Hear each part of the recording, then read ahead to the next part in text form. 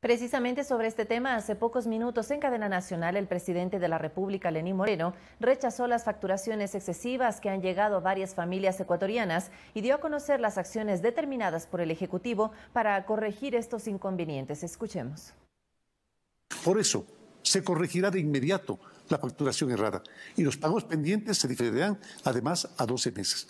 Acabo de disponer al ministro de Recursos Naturales, René Ortiz, que separe de forma inmediata de sus funciones al director ejecutivo de Arconel y empiece un cuidadoso proceso para reemplazar a todos los gerentes de las empresas eléctricas a nivel nacional. Aprovecho para ratificar y recordarle al país lo que resolví desde el inicio de la emergencia del coronavirus. Bajo ningún concepto se cortará el servicio de energía eléctrica a nadie, a nadie, ni se permitirá cobrar facturas eléctricas erradas.